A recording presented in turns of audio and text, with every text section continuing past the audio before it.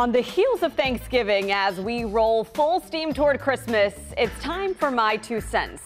The dates on the calendar are not the be all end all for holidays. Of course, the religious aspect of holidays on specific dates like Christmas on December 25th won't change, but the family celebration can.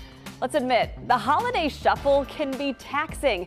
Parents, you probably can relate. You're going house to house from one side of the family to the next. The kids are tired without proper naps. They are over the itchy dress clothes and endless photos. And by the end of the night, you've spent more of the holiday in the car than anywhere else. And the only place anyone really wants to be is home. Secondly, certain occupations take no holidays. Work doesn't stop for first responders, medical professionals, hospital staff, ministers, journalists, to name a few. Having worked some holidays, I will tell you, thinking about it is the toughest part.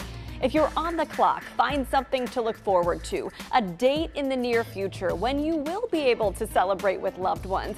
It means a lot when they'll accommodate and wait for you. So if you are feeling the stress of the holiday hoopla, consider an early or belated gathering. December 16th, for example. At first, you'll say, it's not the same until you do it. Then you'll realize home is where the heart is, and home is wherever and whenever family is together.